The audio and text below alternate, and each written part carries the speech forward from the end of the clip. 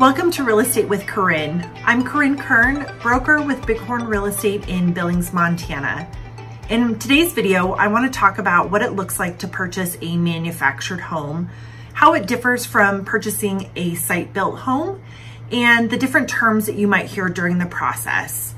I think this will help you put together a pros and cons list to decide if purchasing a manufactured home is the right move for you. So we often see the terms manufactured, mobile, and modular intertwined. Uh, so I just want to clarify that a manufactured home and a mobile home are technically one and the same. Uh, what is a little bit different from those is a modular home, and that tends to be treated just like a site-built home or a stick-built home. So for the purpose of this video, I am going to be referring to what we call manufactured or mobile homes. First, we're going to take a look at purchasing a manufactured home within a mobile home park. While this is typically a more affordable housing option, the reason for this is that a manufactured home within a mobile home park usually is not sold with the land. The mobile home park owns the land underneath and usually leases out the lot where the manufactured home is situated. Since the property does not include the land with it, just the manufactured home, we also see that these manufactured homes are typically on a more temporary type of foundation or not considered to be affixed to a permanent foundation. Because properties within mobile home parks do not own the land underneath them and do not have permanent foundations, typically these homes do not qualify for standard financing.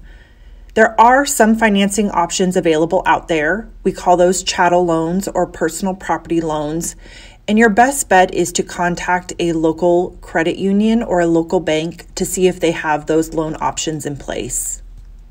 Since the land in the mobile home park is not owned by the manufactured home owner and owned by the mobile home park, the manufactured home is actually recognized as personal property and not real property or real estate.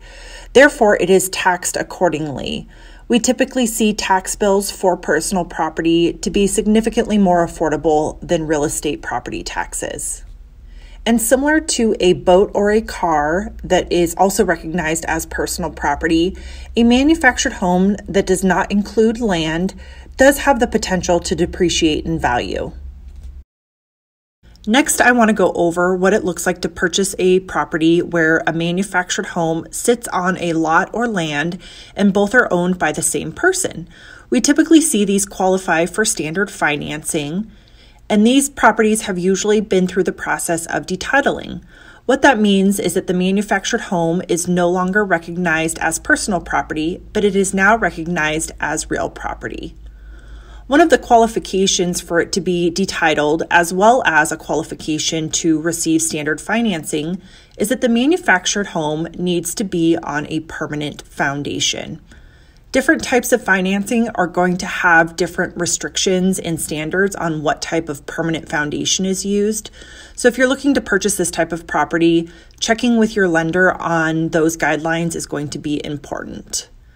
Now, the next qualification really only applies to the financing piece of it, not necessarily to the detitling part of this. But a manufactured home can only be moved once to qualify for financing. There are some exceptions to this rule, but most often we see that financing requires that the manufactured home can only be moved from the manufacturer's lot to the piece of land that it's going to be permanently affixed to. The reason behind that is they want to make sure that a property hasn't been moved more than once and hasn't been structurally compromised. When we see a manufactured home listed for sale, even after they've been through the detitling process, they include land and are on a permanent foundation, we do tend to find them more affordable than a comparable site built home. And while we do see these manufactured homes as a more affordable housing option, they do also follow the real estate market trends. So, as real estate values go up, so do the values of these manufactured homes that include land and are considered to be real property. There's definitely a lot to consider if you're thinking about purchasing a manufactured home. I hope this video helps bring you some insight and information to the process. But if you have any questions specific to your uh, purchasing needs, feel free to drop a comment below, or I will also include my phone number and email in the description box, and I'm happy to answer any questions that you might have. As always, I upload new videos every Tuesday answering real estate questions and questions about the Billings and Montana real estate markets. So I look forward to seeing you guys next Tuesday.